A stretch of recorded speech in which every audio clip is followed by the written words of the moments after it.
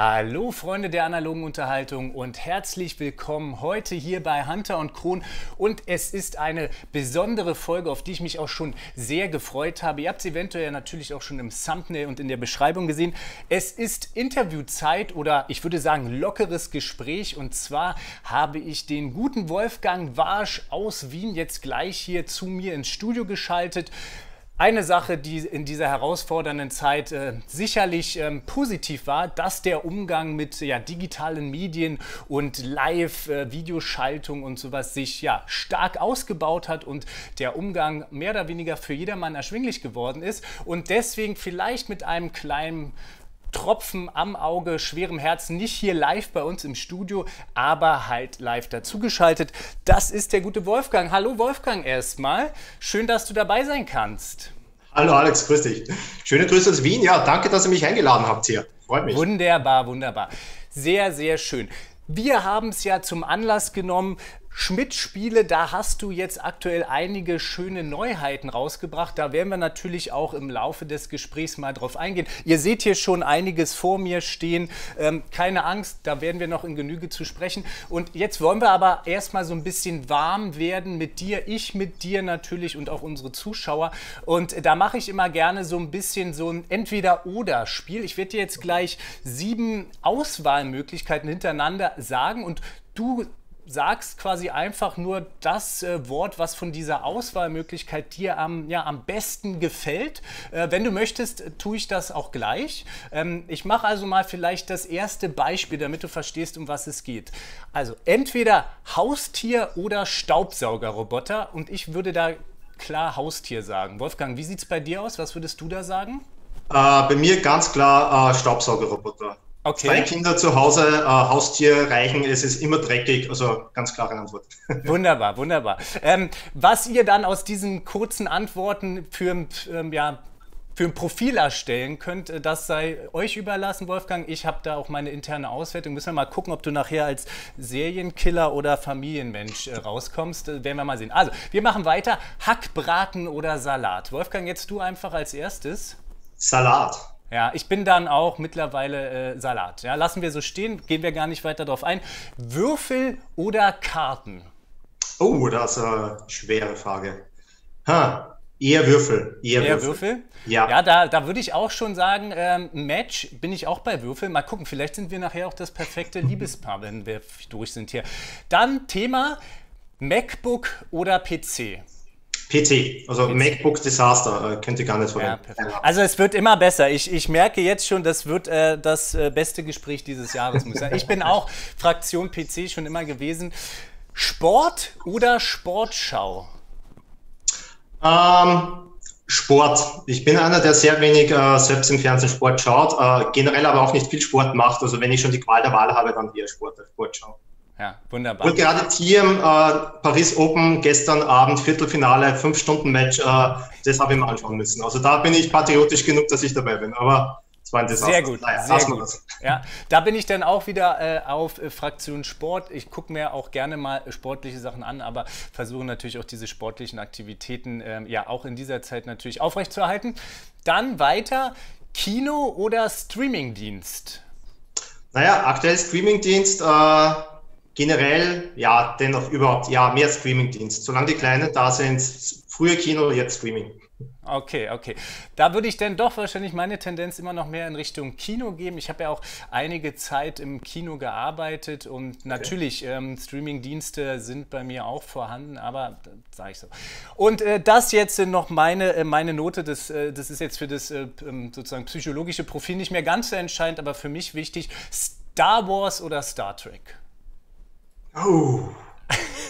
oh das, das, das ist Sophie's Choice. Ähm, Jetzt früher, ist der Star Wars, mittler, früher Star Wars, ja. nach den aktuellen Filmen, jetzt muss ich sagen Star Trek. Okay, ich kann das sogar gelten lassen und wir können äh, das Gespräch hier auch weiterführen. Ich würde auch immer noch sagen, Star Wars auch allumfassend in, in diesem Universum und was es da auch gibt, auch gerade zum Beispiel im Bezug Brettspiele. Ähm, ja, Star Trek Tendency, glaube ich, ja auch ein cooles Spiel, aber sowas wie Star Trek X-Wing, da schlägt mein Herz schon noch mehr. Äh, und ja, natürlich, das Ganze äh, ist eine schöne märchenhafte Geschichte, ähm, aber das ist ein anderes Thema, was Disney damit macht. Wunderbar, Wolfgang. Dann äh, sind wir sozusagen diesen etwas vielleicht, ähm, naja, ganz so persönlich war es ja jetzt nicht, aber ich denke, vielleicht könnt ihr euch ein Bild dadurch besser machen, wie denn der äh, gute Wolfgang hier so tickt.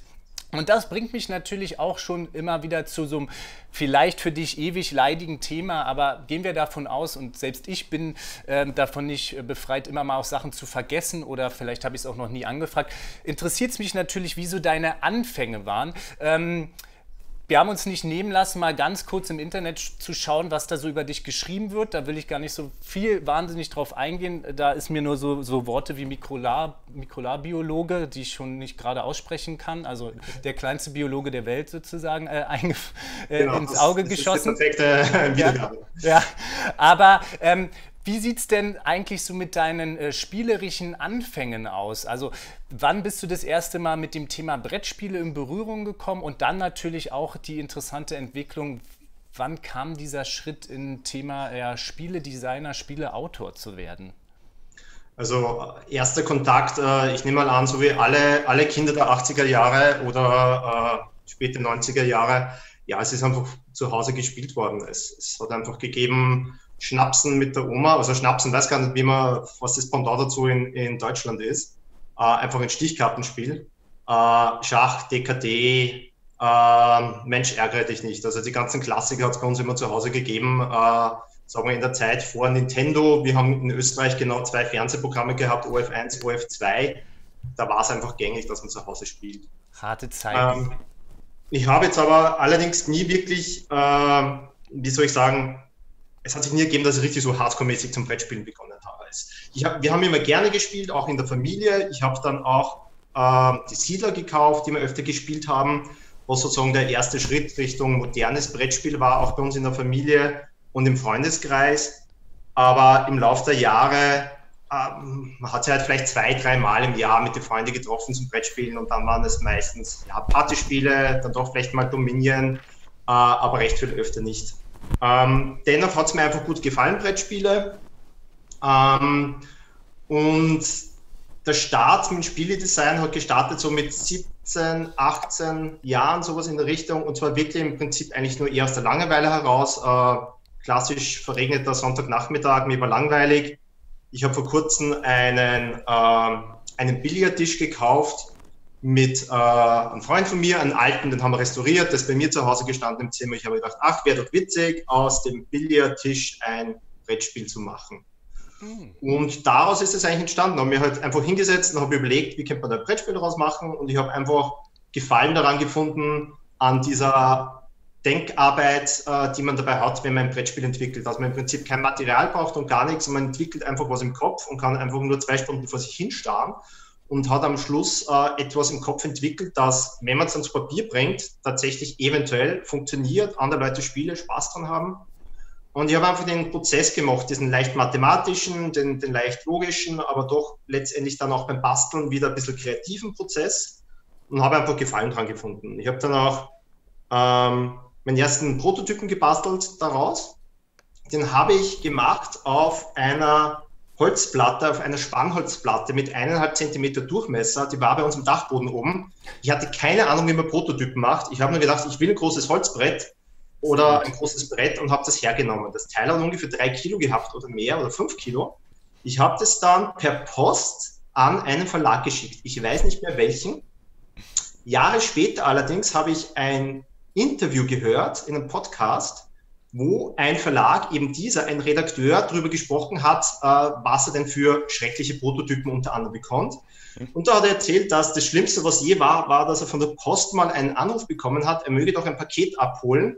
Es ist dort irgendwie ein 5 Kilo Holzteil angekommen. Sehr gut. Ja. Ja. Ich habe das gehört und gedacht, hey, geil, das war ich. Seitdem hat sich hoffentlich mein Prototyp Basteln ein bisschen verbessert.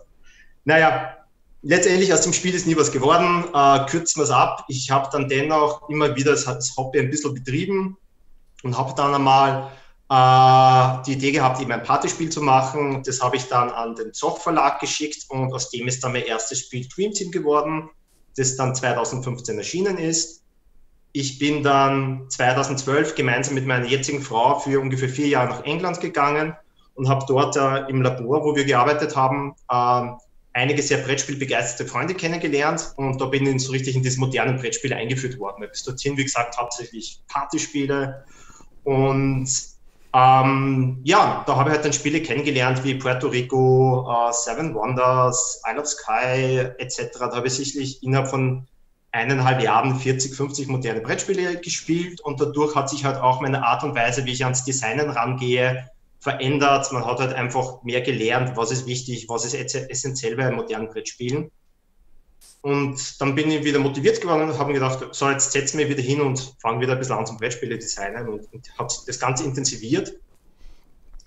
Und bin dann eben 2016 sind wir wieder zurückgekommen nach Österreich, nach Wien und habe dann dort äh, den Alexander Pfister kennengelernt, der ja auch äh, sozusagen einer der erfolgreichsten österreichischen Brettspielautoren ist. Den habe ich in Essen getroffen, habe mich dann eingeladen zu seiner wöchentlichen ähm, Brettspielrunde, die einmal in Wien, also einmal in der Woche in Wien stattfindet. Und das war ein riesiger Anspann jetzt, dass man jetzt nicht alleine nur vor sich hinarbeitet, sondern dass man sagt, okay, geh einmal in der Woche zum Treffen und liefert immer was Neues ab oder, oder ändere und teste. Innerhalb von ein paar Tagen sollst du wieder was Neues haben. Und da sind innerhalb von kurzer Zeit die Spiele The Mind und Illusion und die Quacksalber von Quedlinburg und ganz schön clever erschienen. Und, äh, das war dann 2018, ne? Da hast du da bist du groß gestartet, sozusagen. Ja, genau. So, so 2016, 2017 habe ich dran, also 2017 habe ich die Spiele, eigentlich die meisten dieser Spiele gemacht und früher 2018, Nürnberg 2018 sind sie dann erschienen, genau. Und ähm, da war es auch so, dass ich gerade im beruflichen Wechsel drinnen war. Da habe ich gewusst, okay, ich habe so ein Stipendium gehabt, das ist ausgelaufen. Für mich war dann die Frage, bleibe ich weiterhin an der Uni in der Forschung oder mache nochmal einen beruflichen Wechsel, weg Richtung Privatindustrie äh, äh, oder, oder, oder Unterricht oder was in dieser Richtung. Und ich habe zu meiner Frau gesagt, bevor ich diesen Wechsel jetzt mache, äh, würde ich gerne mal ein, zwei Monate Auszeit nehmen und einfach jetzt mal nur auf Brettspiele fokussieren.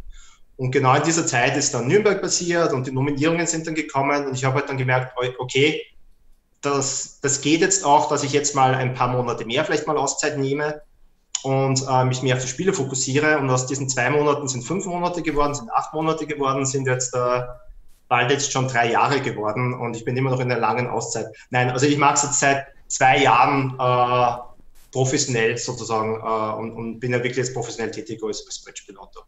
So, das war jetzt meine sehr kurze Geschichte, wie ich da hingekommen ja, sehr, bin. Sehr gut, sehr gut. Ich, ich kann mich auch noch äh, schön an äh, die Spielwarenmesse in Nürnberg erinnern, 2018, wo wir auch mit ein paar äh, Blogger-Kollegen The Mind äh, gespielt haben. Und ich ja. glaube, sogar äh, auf einmal standest du da hinter uns. Wir, wir, also ich auf jeden Fall kannte dich da noch gar nicht. Ich glaube, es war sogar der Moment, wo du das erste Mal gesehen hast, dass das finale Produkt dann äh, wirklich auch mal gespielt wurde. Und wir hatten auf jeden Fall sehr, sehr viel Spaß. Ähm, Kannst du, äh, also sind es so Momente, die dich immer wieder antreiben, Spiele zu entwickeln, quasi die Emotionen bei anderen Spielern zu sehen? Oder ist es vielleicht sogar einfach nur der Prozess äh, des Spieleentwickelns? Äh, was ist da das, was dich da sozusagen am glücklichsten macht? Ach, das ist, das ist schwer zu sagen. Also in dem Moment zum Beispiel, weil du jetzt gerade den Moment angesprochen hast, das war für mich überhaupt ein ganz ein toller Moment, weil das war überhaupt zum allerersten Mal in meinem Leben, dass ich jemanden eins meiner Spiele spielen gesehen habe.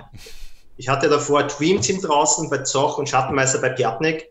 Und die sind halt, ja, jetzt, jetzt nicht gerade in, in, der Masse gespielt worden, sagen wir so. Und das war zum ersten Mal, dass ich wo war, in dem Fall immer auf der Messe in Nürnberg. Und ich habe zum allerersten Mal mein Spiel gesehen. Ich habe zum allerersten Mal fremde Personen außerhalb meiner Tester eins meiner Spiele spielen gesehen. Und die waren natürlich super neugierig, okay, äh, wie ist jetzt die Reaktion? Wie, wie, wie kommt das jetzt an? Weil ich habe damals auch noch keine Ahnung gehabt, kommt das Spiel gut an oder nicht gut an. Und für mich war es natürlich, äh, ja, ich war einfach extrem neugierig. Ich bin nur da gestanden, bin ein bisschen um den Tisch rundherum geschlichen und habe geschaut, wie, wie er darauf reagiert. Aber generell, ähm, ich finde, das ist das Schöne am Brettspiel entwickeln, dass du einfach ähm, sehr viele tolle emotionale Momente hast, ähm, ähm die das, dieses Spielentwickeln, das Designen einfach interessant machen. Das kann das kann vom einfach nur rumgehen und, und eine, eine Idee für einen Mechanismus haben, der dir in dem Moment einfach toll vorkommt, wo du dir denkst, wow, cool, äh, das ist eine gute Idee, du kannst gar nicht mehr nach, erwarten, dass du nach Hause gehst und, und, und sagen wir, mehr daran arbeitest, egal ob jetzt im Kopf oder, oder jetzt tatsächlich äh, am Computer oder im Prototypen bastelst. Also dieser Heureka-Moment, dass du dir denkst, uh, das, das ist cool, aus dem könnte das Spiel werden. Du hast aber auch diese Momente dabei, wenn du zum ersten Mal den Prototypen einer, einer Testspielgruppe vorsetzt und dann mal wartest, okay, wie kommt es an? Und wenn du dann merkst, okay, das läuft, das macht mir Spaß, das macht denen Spaß, dann merkst du, okay, diese ein, zwei, drei Monate, hin wieder vielleicht auch nur zwei Wochen, die du reingesteckt hast, war nicht umsonst, sondern du merkst, gut, da könnte was draus werden, da, da könnte es jetzt die nächsten Monate reinstecken. Du freust dich dann schon drauf, dass du denkst, ja, das wird was. Also dieser erste Moment ist einfach toll. Es ist, es ist super, wenn du zum ersten Mal ähm, die Grafiken siehst vom, vom Grafiker. Also wenn da zum Beispiel Dennis Lohausen daherkommt und, und der Thorsten Gimmler von damals von Schmidtspieler hat mir halt die ersten Grafiken zu, zu Quacksalbe geschickt oder den Tavernen und du siehst auf einmal, wie dieses Spiel lebendig wird und so richtig eine Welt draus wird, ist das auch, da freue ich mich schon immer drauf. Ist auch ein toller Moment. Aber wenn du zum ersten Mal das, das fertige Spiel natürlich zugeschickt bekommst, ist super. Wenn du es in den Händen hältst, ein, ein toller Moment.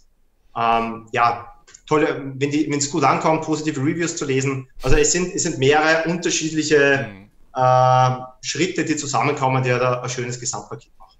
Ja, das kann ich mir auch vorstellen. Einfach diese Kombination da etwas Haptisches, ja ein Produkt auch entsteht, dass man sieht, dass jetzt nicht nur rein digital ist und dass man natürlich Emotionen wecken kann und die im besten Fall ja auch noch mitbekommt. Also das sehe ich ja auch schon alleine äh, quasi in unserem Bereich äh, im Sinne von ja Blogger, Pressearbeit oder Leute unterhalten mit Let's Plays und so, dass einfach auch diese positiven Emotionen, die da geweckt werden, einfach auch viel Energie und, und Kraft geben und das denke ich ist da eine schöne Kombination natürlich auch bei dir. Ähm, es fühlt sich bei dir so an, oder du kannst natürlich auch sagen, wenn ich da ein falsches Gefühl habe, dass du noch gar nicht so festgelegt bist. Also was meine ich, du hast eigentlich Spiele in allen möglichen Kategorien bis jetzt gemacht, halt vielleicht Familienspiele mäßiger oder ja Quacksalber, ja natürlich ähm, Kennerspiel, aber das, da kann man ja auch immer ein bisschen drum streiten. Dann eher auch diese würfellastigen Sachen steht ja hier auch clever hoch drei jetzt diese dritte Sache und und und. Ähm, dann auch ein bisschen mehr Partyspielmäßige Sachen. Ähm, Gibt es da trotzdem so eine Tendenz, wo du sagst, diese, diese Bereiche oder diese Art von Spiele, die liegen dir vielleicht besser oder die machst du lieber oder wie sieht es da aus? Mache ich lieber. Eigentlich, im ersten Moment würde ich sagen, nein, diese Tendenz gibt es nicht. Aber dennoch, also wie man merkt, mir liegen lieber Spiele, die äh, mehr Familienspielbereich sind, unter Kennerspielbereich maximal. Also gerade ein Spiel wie die Tavernen im tiefen Tal oder, oder die Quacksalber von Quedlinburg sind eher für mich die Ausnahmespiele, die sich eher so ergeben haben, auf die ich jetzt nicht abgezielt habe, dass die so groß werden. Es sind natürlich immer noch keine großen Spiele im Vergleich zu manchen Expertenspiele. Aber generell verliere ich halt einfach auch mal schnell Geduld mit einem Spiel. Das heißt, Geduld nicht, sagen wir, ich verliere oft den Anreiz, an einem Spiel ein, zwei Jahre zu schrauben. Also jetzt ein Spiel zu haben, an dem ich gerade an einem großen Spiel, wie es oben oft Alexander Pfister macht, ähm, der bringt jetzt seine Spiel mit zur Testrunde und der nimmt die teilweise über ein, zwei Jahre immer wieder mit. Und das bewundere ich an ihm und da finde immer wieder eine Stellschraube und noch eine, noch eine. Aber ich bin da einer, bei mir muss auf das Spiel einfach noch ein, zwei, drei Monaten fertig sein, weil dann artet es für mich in Arbeit aus und nicht mehr an dieser großen Freude. Mhm. Und ist natürlich nicht immer so. Gerade das, das Nachschrauben dauert natürlich oft lange, gerade beim Spiel wie Quacksalber Tavernen. Das war halt initial schnell fertig innerhalb von ein, zwei Monaten. Äh, Taverne nicht, das hat, das hat einen längeren Prozess gehabt, aber Quacksalber war schnell. Aber dann dieses Nachbearbeiten und Feintunen, äh, bis es dann fertig geworden ist, hat dann halt auch sechs Monate wieder gedauert. Mhm. Aber generell habe ich einfach lieber simple, einfache, schnelle Spiele, weil das auch die Spiele sind, die ich selbst gerne lieber spiele. Also ich sage mal, ein Spiel wie Quacksalber oder unter Kennerspielbereich ist das, was ich selbst gern spiele und das ist also bei mir eher der obere Level.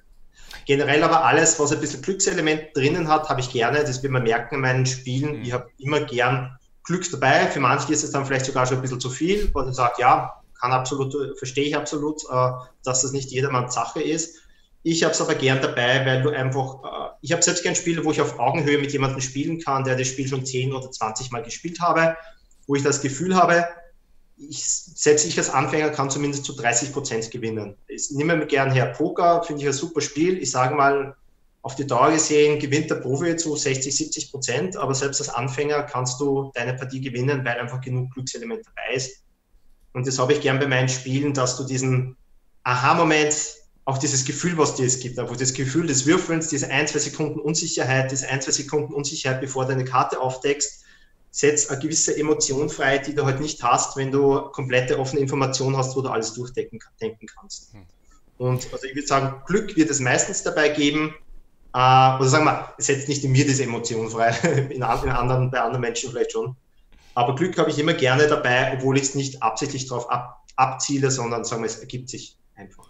Jetzt hast du ja schon die Quacksalber von Quecklenburg angesprochen und auch Thema Glück. Das ist natürlich da auch ganz groß vertreten. Was zieht man da aus seinem Beutelchen? Dieser ja Push-Your-Luck-Mechanismus. Wann höre ich auf? Wann explodiert der Kessel? Und da ist ja jetzt aktuell die zweite Erweiterung und ihr seht sie hier ja auch schon, die Alchemisten erschienen oder kommt sozusagen gerade raus. Hm, vielleicht kannst du uns ja mal auch so ein bisschen vielleicht an dem Beispiel die Alchemisten so ein bisschen verbinden verdeutlichen, äh, bildlich darstellen, wie sieht denn so dein Arbeitstag eigentlich aus? Also gibt es so einen klassischen Arbeitstag für dich? Gibt es so feste Strukturen oder fliegst du da so durch dein Leben und hier und da machst du mal was? Äh, wie, wie war das zum Beispiel im Fall Die Alchemisten? Also ich versuche meinem Alltag ein bisschen Struktur zu geben, weil gerade wenn man sozusagen das jetzt hauptberuflich macht, äh, ist es, glaube ich, schon, schon wichtig, dass du es, deinen Tag ein bisschen strukturierst, weil du sonst einfach nur kopflos herumrennst, mache ich auch in genug Tagen. Aber generell äh, läuft es bei mir normalerweise so ab, dass in der Früh, wenn meine Frau mit meinen Kindern sozusagen aus dem Hause ist und sie fährt in die Arbeit, Kinder kommen Kindergarten, dann gehe ich normalerweise eigentlich auch aus dem Haus und mache wirklich oft einfach ein, zwei, drei Stunden lang einen Spaziergang. Das ist eigentlich fast jeden Tag. Drum äh, blicke ich dem Winter jetzt schon äh, etwas entsetzt wieder entgegen, wenn ich das bei minus 5 Grad machen muss, vor allem schon wieder im Frühling. Ähm, und diese Zeit nehme ich einfach her für unterschiedlichstes. Entweder den Kopf frei bekommen und mich treiben lassen und vielleicht einfach Idee für einen neuen Mechanismus haben. Oder ich arbeite an aktuellen Spielen, wo ich gewisse Probleme habe und arbeite einfach sozusagen nur im Kopf und versuche einfach Lösungen, Problemlösungsansätze zu finden. Überdenke vielleicht Anleitungen, wo ich mir denke, okay, das passt in eine Anleitung nicht, kann man es vielleicht anders machen, kann man es anders formulieren. Das ist aber eher ein kleiner Teil, weil das Anleitungsschreiben ja doch zum Großteil natürlich die Redakteure übernehmen. Aber generell ist es bei mir einfach mal spazieren gehen und danach komme ich halt nach Hause und dann versuche ich halt, das im Rest des Tages daraus auf was zu machen oder das umzusetzen. Dann ist einfach sehr oft dran, E-Mails beantworten, ähm, aktuelle Ideen umsetzen, probieren. Sehr oft, ein, zweimal in der Woche ist einfach Prototypen neu basteln oder überarbeiten für die Testspielabende, die einfach anstehen. Äh, oft ist es einfach Anleitung lesen, Anleitungen überarbeiten, ähm, einfach oft Kommunikation mit, mit äh, Redakteuren. Ähm, also sehr unterschiedlich. Bei Alchemisten kann man so sagen, war es halt einfach so, da ist einfach äh, Schmidt-Spiel an mich herangetreten und zwar heuer in Nürnberg, äh, nicht Blödsinn, nicht heuer in Nürnberg, Entschuldigung. Ähm, ja, doch, natürlich. War heuer in Nürnberg, sind an mich herangetreten und haben gesagt, okay, ja, sie hätten gerne eine zweite Erweiterung für die Quacksalber von Quellenburg. Und ja, da habe ich mir halt dran gesetzt und habe hab halt versucht, äh, einen neuen Ansatz zu finden, der sozusagen jetzt nicht einfach eine Wiederholung von der ersten Erweiterung die Kräuterhexen ist. Das heißt nicht wieder einfach nur neue Bücher und natürlich sind auch wieder ein bisschen dabei, sondern wo ich wirklich sage, okay, vielleicht können wir mechanistisch noch ein bisschen was hineinbringen, was jetzt das Spielgefühl vielleicht nicht unbedingt ändert, aber vielleicht einfach ein bisschen was Neues äh, dazu. Einfügt. Und da habe ich halt einfach ja jetzt mal ein, zwei Monate dran gearbeitet. Wer dazu jetzt vielleicht noch die ein oder andere Frage hast, was hat es denn eigentlich genau mit die Alchemistenerweiterung auf? Schaut doch mal äh, auf dem Kanal oder natürlich auch verlinkt ähm, auf der Spieldigitalseite von Schmidt Spiele. Da gibt es auf jeden Fall ein angespielt, so ein bisschen Regelerklärvideo von uns auch. Und äh, es wird sicherlich auch die ein oder andere Sache da im Netz zu finden sein. Grundlegend kann man sagen, es ist hier ein neues Tableau ins Spiel bekommen, nämlich das in Verbindung mit Patienten steht. Ja, die Quacksalber, die müssen jetzt allerhand äh, ja, kurioser Krankheiten versuchen zu heilen. Patienten, die sowas wie einen Ohrwurm haben oder Segelohren, die wollen ja das passende Destillat dafür haben und so gibt es ein weiteres Tableau, wo man einen Marker weiter einsetzen kann, um dann letztendlich weitere ja, Zwischenfähigkeiten zu werten oder am Ende auch nochmal, also das Ganze dann nochmal da ein bisschen erweitert. Aber wenn ihr da Lust auf mehr habt, äh, das Ganze zu erfahren, schaut da mal nach und Ihr könnt das Ganze sogar auch schon auf Tabletopia mal anspielen. Also wer da mal Bock hat, ähm, natürlich äh, am Tisch sitzen und das zu spielen, äh, ist immer, wie ich finde, eine bessere Sache. Aber wer da mal reinschauen will, hat da also auch die Möglichkeit, sich das Ganze schon mal anzuschauen.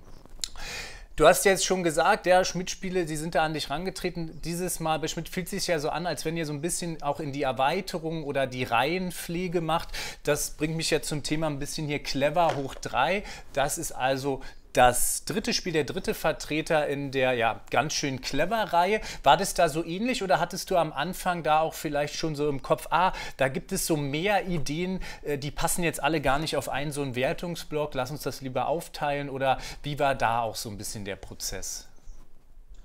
Also für den zweiten Teil war es schon noch so, da habe ich ursprünglich in meinem ursprünglichen Prototypen noch ein, zwei Mechanismen drinnen gehabt oder, oder Aktionsfelder gehabt, die dann nicht mehr hineingekommen sind. Zum Beispiel auch dieser Rückholmechanismus, der im zweiten Teil drinnen ist.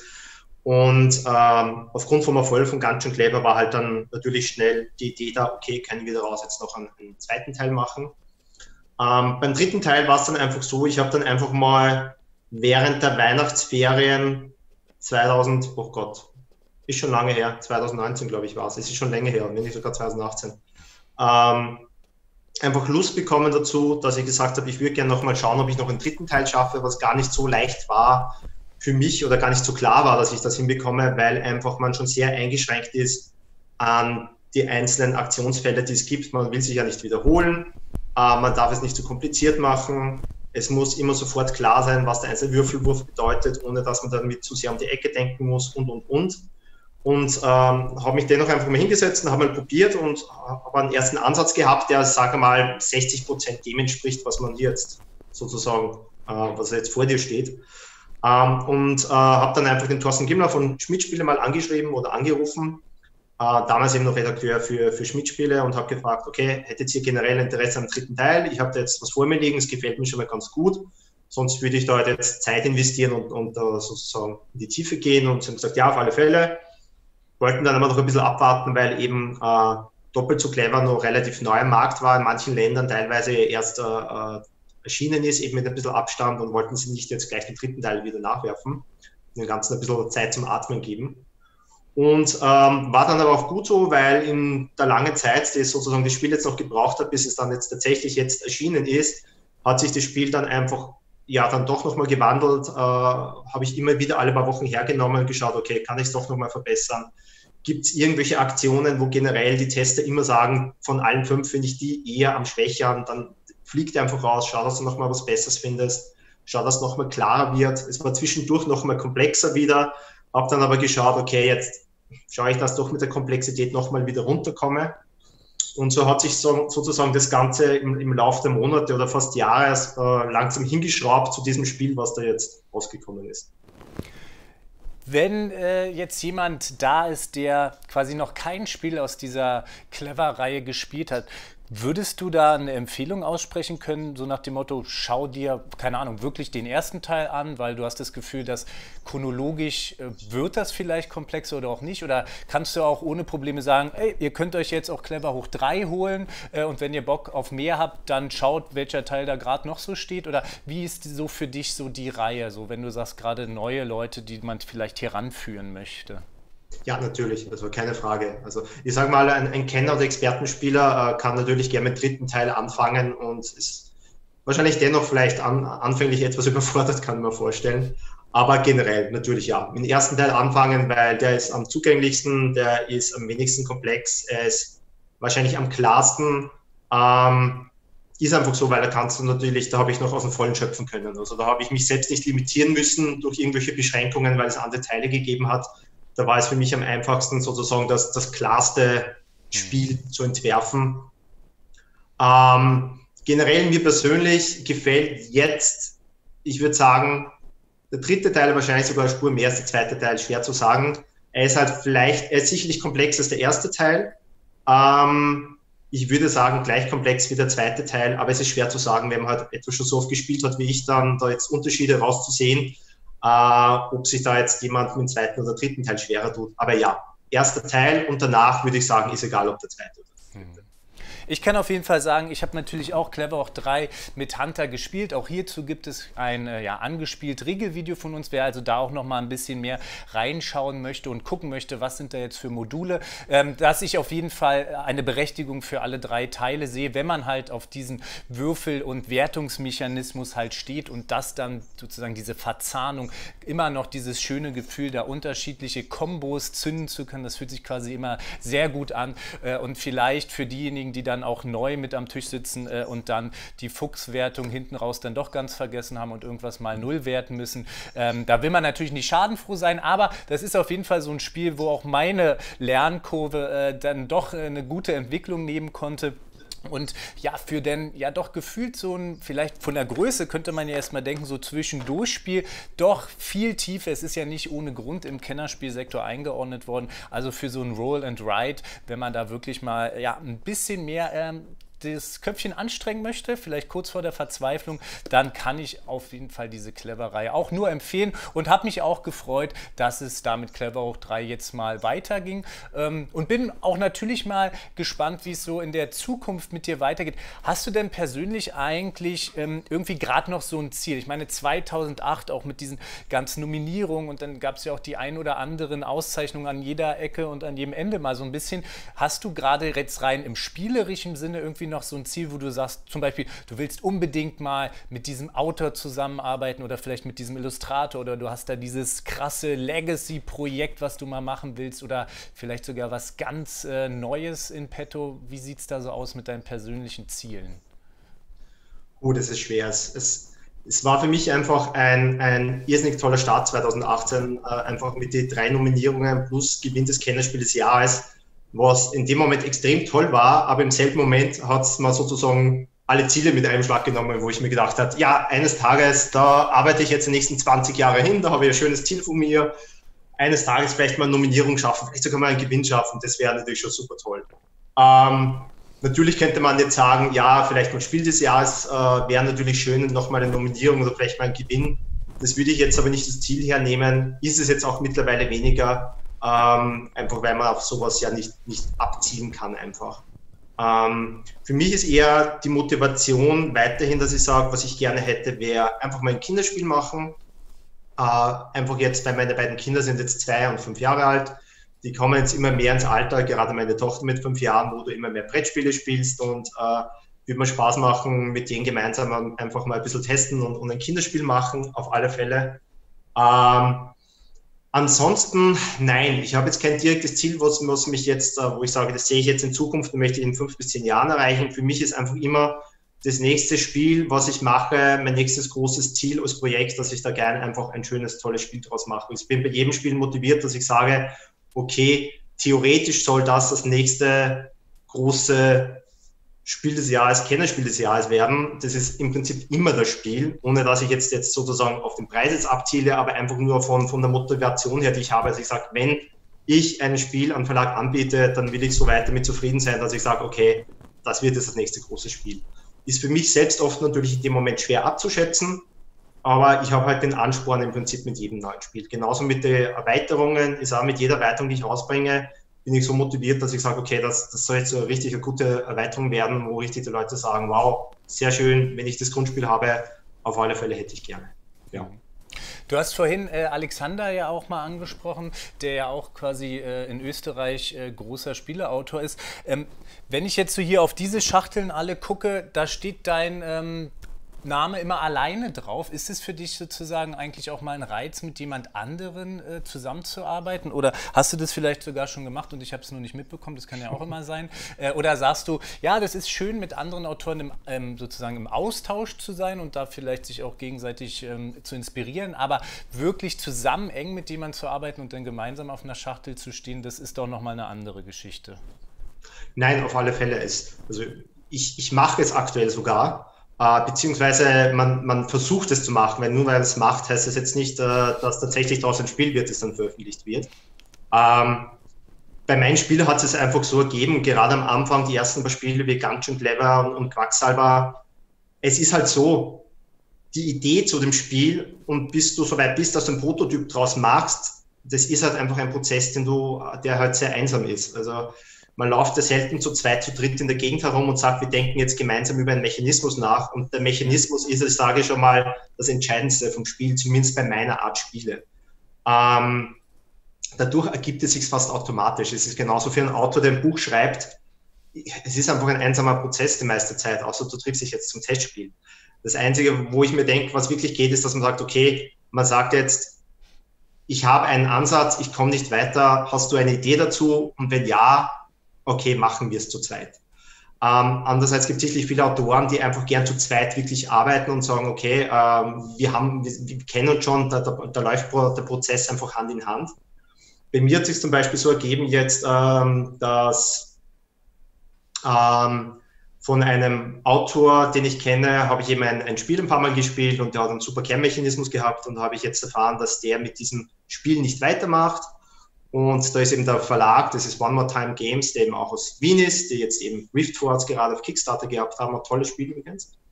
Ähm, äh, mit dem bin ich eben auch in engen Austausch und habe gesagt, ma, äh, wenn der Carlo, der hat eben ähm, diese Idee zu diesem Mechanismus gehabt, äh, äh nicht mehr weiter an dem Mechanismus arbeitet, äh, ich hätte großes Interesse daran, dass, dass ich äh, an dem Spiel vielleicht einfach weiterarbeite. Ich war heute auch mit Carlo darüber natürlich vorher schon im Austausch und gesagt, ja, passt, mach mal.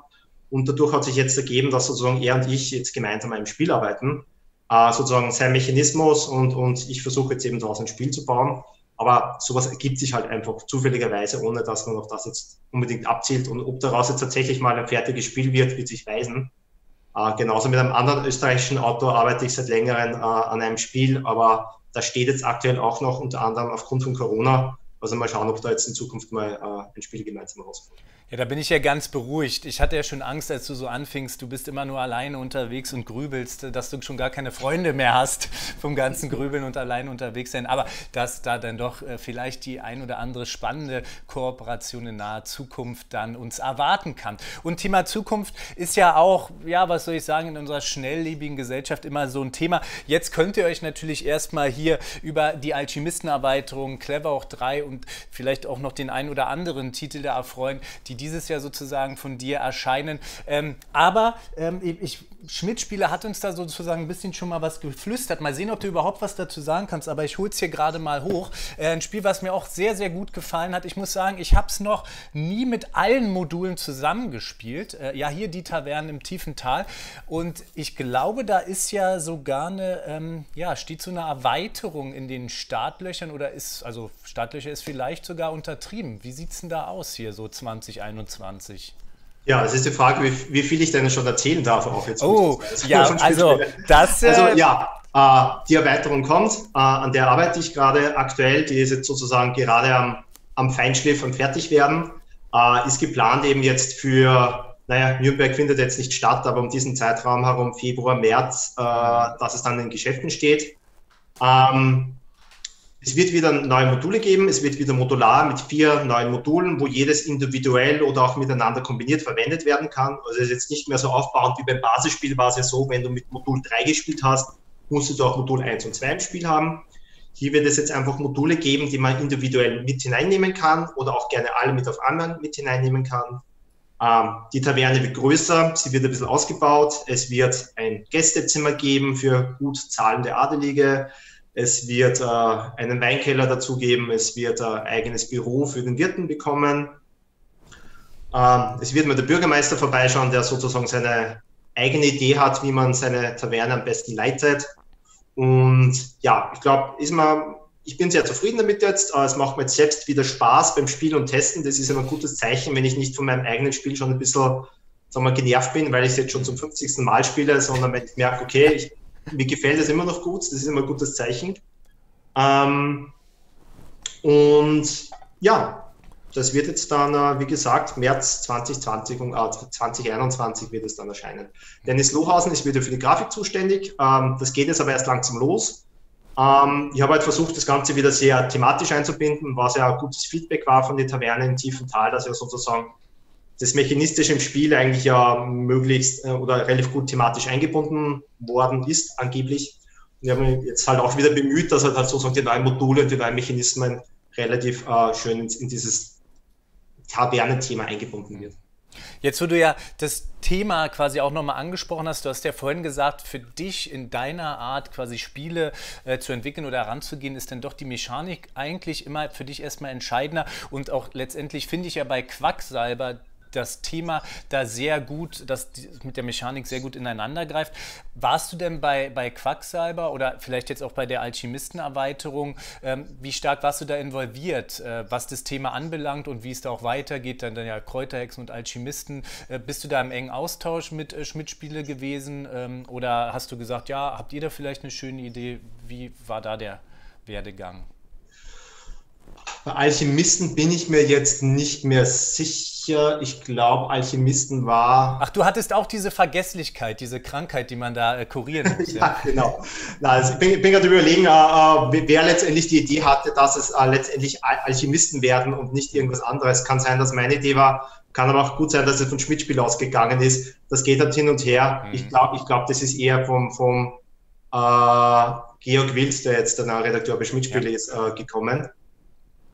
Bei Quacksalber war es so, da habe ich halt ein ganz anderes Thema gehabt. Es war ursprünglich, äh, hat es geheißen, Most Wanted, war im Wilden Westen angesiedelt. Und äh, auch wenn, wenn mechanistisch schon alles vorhanden war, hat damals hat Thorsten Gimmler gemeint, naja, es fühlt sich mechanistisch halt nicht so gut an, was ich da tue, was ich da rausziehe aus dem Beutel, habe ich gehabt, man zieht Münzen raus sozusagen, also wirklich Geld, das man sozusagen überfallen hat an, bei Banken und so. Dann hat er hat gemeint, naja, es, es, man hat das Gefühl, das, das passt nicht. Er hat dann die Idee gehabt, dass man eben Zutaten rauszieht und dann waren halt sind Ideen hin und her gegangen von, von, von einer Hexenkochsendung und hin und her. Und ich habe dann die Idee gehabt, dass man doch an so einen, ähm, einen Markt macht, wo man Wundertränke kauft, weil das habe ich zu einem, beim ursprünglichen anderen alten Spiel schon mal verwendet gehabt, das Thema, das mir gut gefallen hat. Und äh, er hat halt dann die Idee dazu gehabt, okay, dann nennen wir es halt äh, die Quacksalber von Quedlinburg und es sind dann halt Quacksalber. Und so hat sich das Ganze halt dann ergeben und gewandelt die Kräuterhexen waren bei mir irgendwie von Anfang an Kräuterhexen. Das war, hat einfach gut thematisch gepasst. Ich habe den Prototypen, glaube ich, schon die Kräuterhexen genannt und das ist dann auch letztendlich so ins Spiel hineingegangen. Das ist auf jeden Fall äh, ja immer spannend, da mal zu schauen, wie sieht es denn eigentlich so aus? Was passiert denn hinter den fertigen Spielen? Wie lange braucht sowas? Ähm, ja, wie sind die Ideen, die Mechaniken, das Thema? Äh, das ist ja immer ein großer Prozess. Also Wolfgang, schon mal vielen, vielen Dank, dass du uns da ja starke Einblicke liefern konntest, quasi in deinem Alltag, überhaupt in deinem Werdegang. Und ich hoffe natürlich, dass du zum jetzigen Zeitpunkt mit deiner Entscheidung ähm, zufrieden bist und nicht bereut hast, äh, dich dann äh, ja in Richtung Spieledesigner zu entwickeln? Äh, oder äh, schlummert da schon irgendwie wieder der Drang in, nach was Neuem? Wie, wie sieht es da so aus? Fühlst du dich da noch gut zu Hause hier in dem Bereich? Oh, da, lasse da lass ich einen großen Einblick in meine, in meine privaten Gedankengänge. ähm, ja und nein. Also ähm, es macht immer noch Spaß, aber natürlich diese anfängliche Motivation, die man hat, wenn man ganz eine neue Arbeit beginnt, die weicht im Laufe der Zeit. Also ich kann mir auch nicht vorstellen, dass wenn man 30 Jahre lang einen tollen Job macht, dass es nach 30 Jahren immer noch so Spaß macht wie die ersten paar Jahre. Hm. Und es ist dasselbe für mich, es macht immer noch Spaß, es ist immer noch ein extrem toller Job, den ich mir gut vorstellen kann, äh, einfach auch noch die nächsten paar Jahre zu machen. Ähm, gleichzeitig äh, ist auch schon immer noch ein bisschen der Hintergedanke da, ähm, doch vielleicht nochmal wieder was anderes zu probieren, äh, wenn es sich ergibt. Ähm, mir hat die Forschung auch gut gefallen. Es ist immer wieder der Hintergedanke da, ob ich doch nochmal einen, einen Schritt zurück wieder in die Forschung mache ähm, aber das eher einfach aus, aus ich sage mal, Motivationsgründen oder Spaßgründen einfach. Ähm, aktuell gefällt es mir aber noch so gut, dass ich sicherlich vorhabe, die nächsten ein, zwei Jahre da noch dran zu bleiben. Äh, ich bin aber komplett offen, wenn es sich ergeben sollte, dass, dass äh, sich irgendeine andere Tür aufmacht, kann ich mir auch gut vorstellen, dass ich das jetzt dann nochmal probiere, nochmal einen kompletten Wechsel mache, wie ich war jetzt auch zwölf Jahre lang in der Krebsforschung und habe jetzt auch einen kompletten Wechsel gemacht ins äh, Brettspiel entwickeln, so genauso gut kann ich mir vorstellen, dass ich vielleicht in ein paar Jahren auch wieder einen Wechsel mache. Allerdings würde ich sowas wie Brettspiele-Design sicherlich weiterhin als, als, Hobby beibehalten, wie ich es eben auch vor all die Jahre hatte. Ähm, kann aber gut sein, dass ich das auch in 20 Jahren noch mache und immer noch hauptberuflich Brettspielautor bin. Also. Da lassen wir uns einfach mal überraschen und dann muss man natürlich in solchen Momenten einfach seinem Herz oder seinem Bauch folgen und so oder so, wie auch immer es natürlich beruflich mit dir weitergeht, wünsche ich dir alles Gute in dem, was du da tust und wir hier, ihr natürlich auch, die Zuschauer und ich auch, wir haben ja dann immer noch die tollen Spiele von dir selbst, wenn es vielleicht dann ein bisschen weniger gibt in ferner Zukunft. Ansonsten, ähm, ja, die Sachen sind ja hier immer so äh, aufgebaut. Also ich habe meine, ähm, sage ich mal, Quacksalber-Kopie noch nicht so weit, dass ich schon alle Chips neu austauschen muss. Viele haben sich ja schon selbst gedruckte Upgrades und, und, und da gebastelt. Also da ist auch die Haltbarkeit um einige Jahre gestiegen letztendlich. Von daher kann ich dir nur auch viel Glück für die Zukunft wünschen an dieser Stelle und bedanke mich nochmal recht herzlich, dass ich hier mit dir das Gespräch führen konnte und würde mich jetzt auch verabschieden. Wenn dir jetzt nicht noch irgendwas auf der Seele brennt, wo du sagst, Mensch, ich will jetzt nochmal Mutti grüßen oder was auch immer du schon mal sagen wolltest oder hast auch noch eine Frage an mich oder an die Zuschauer, die natürlich dann gerne äh, in Kommentaren oder ähnliches äh, das beantworten können. Also sollte dir da noch was auf der Seele brennen, gerne jetzt raus damit. Also ich habe, glaube ich, mein Leben lang noch nie irgendjemanden gegrüßt. Äh, insofern, ich wurde äh, noch nie gefragt, ob ich das machen will. Also insofern nutze ich das sofort und sage einfach Hallo zu meiner Frau Caro und äh, Hallo zu meinen Kindern Felix und Olivia. Die werden sich das anschauen müssen und freuen sich wenigstens.